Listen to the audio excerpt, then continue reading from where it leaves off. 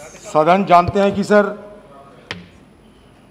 इस आसन की एक चेयर की गरिमा बनाए रखने के लिए सारे अपोजिशन पार्टी शुरू के दिन से मशक्क़त कर रहे हैं, सहयोग कर रहे हैं। एक मिनट। इसी के इसी के बदौलत, इसी के बदौलत आप बाहर या अंदर, हिंदुस्तान या हिंदुस्तान के बाहर, सारे मीडिया वालों को हर वक्त ये कहते हैं कि हमारे पार्लियामेंट की प्रोडक्टिविटी इतना है। आप बताइए कि आपकी नेतृत्व में हमारी सदन की जो प्रोडक्टिविटी, जितना बिज़नेस में है, जितना समय सदन के अंदर हम लोग चर्चारत थे, चर्चा किए हैं। इसका एक नया मिसाल आपने खुद बनाई है, ये आप खुद कहते हैं।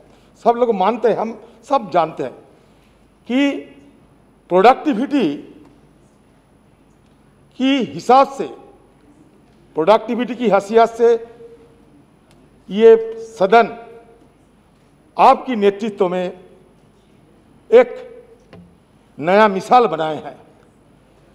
सर आप देख रहे हैं कि ये सरकार की जिद्दीबाजी से आप कल की सदन के अंदर कल की घटना पे कहें आप हाँ सर सरकार की जिद्दीबाजी से सदन के अंदर हम अपना बात नहीं रख पाते हैं एक मिनट सर मैं एक कानूनी बात करते हैं सर देखिए सदन के अंदर सर एक कानूनी बात एक कानूनी बात करते हैं ना ना कानूनी बात करते हैं सर मैं एक छोटी सी कानूनी बात करते हैं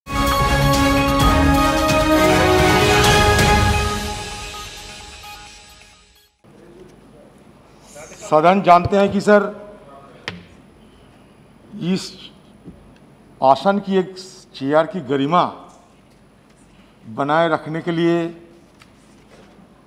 सारे अपोजिशन पार्टी शुरू के दिन से मशक्क़त कर रहे हैं, सहयोग कर रहे हैं।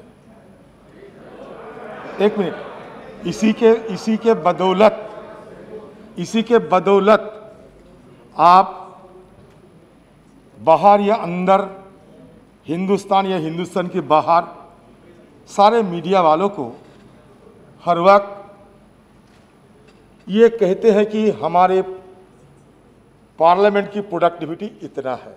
आप बताइए कि आपकी नेतृत्व में हमारी सदन की जो प्रोडक्टिविटी, जितना बिज़नेस में है, जितना समय सदन के अंदर हम लोग चर्चारत थे, चर्चा किए हैं।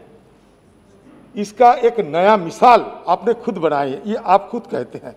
सब लोग मानते हैं, हम सब जानते हैं कि प्रोडक्टिविटी की हिसाब से प्रोडक्टिविटी की हसीियत से ये सदन आपकी नेतृत्व में एक नया मिसाल बनाए हैं।